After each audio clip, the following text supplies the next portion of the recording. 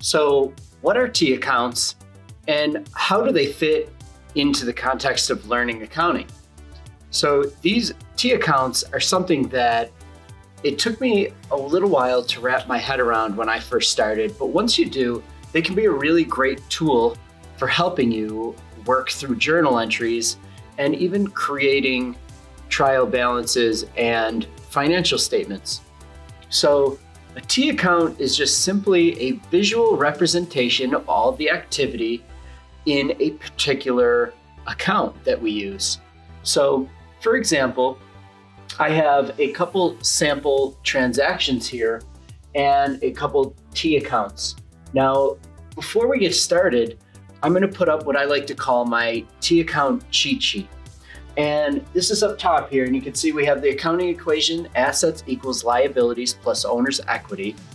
And it's really helpful right off the bat before we even start making these journal entries to know which account increases with a debit and which account increases with a credit. So the first thing I'll do is I will write it out and I will put pluses on the outside. Oh, but first, we have a debit column and a credit column. The debit is always on the left, credit is always on the right, and we're gonna do that for all our T accounts. Debit's on the left, credit's on the right.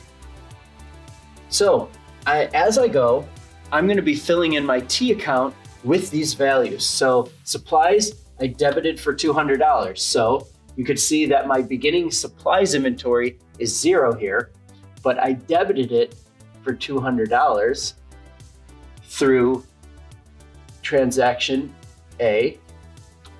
And my cash, I credit it for $2,000 with transaction A. So I have a beginning cash balance of $1,000 and I'm going to credit this for $200 and label that transaction A. So now you can see that we're keeping track of the activity that occurs like through the account by labeling them and using the T account. So sometimes it may not be transaction A, but that might actually be a date. So now you can see the dates and follow the activity uh, chronologically. So our second journal entry, very, very similar to the first.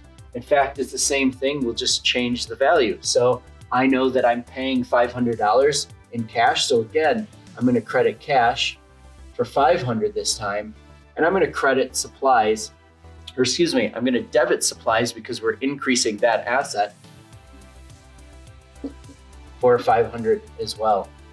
So, and again, same exact thing. I'm going to debit my supplies for 500 because I increased my supply inventory, and that's transaction B.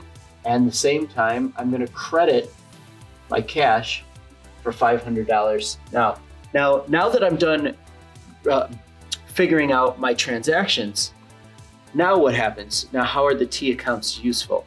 So they're going to help me give a ending balance or ending inventory when I'm done with all my transactions or when the time comes to build your financial statements or trial balance. So right here, I would expect assets, so cash and supplies, to have a positive debit balance. They live in the debit world. So let's let's do that and let's see if that works out. So I have a beginning $1,000 of cash. And so basically what I'm doing here is I am decreasing that $1,000 by 200 and 500. So $1,000 minus 200 and 500, so that's 700. And I will have $300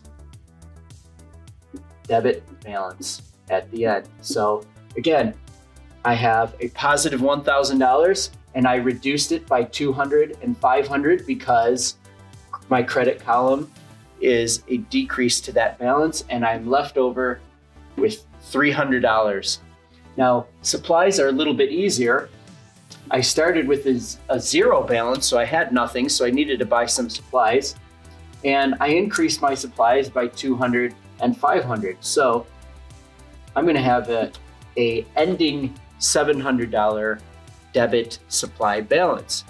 And that's how T accounts can help us track activity, make sure we didn't make any mistakes. So if I made a mistake, and if for some reason I put supplies, for example, in my credit column, I would see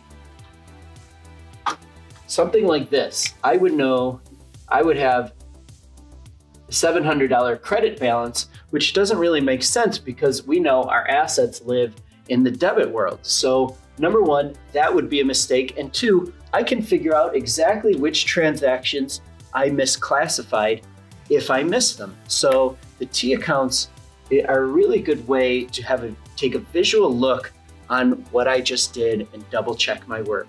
So, I hope that helps you and stay tuned for more lessons.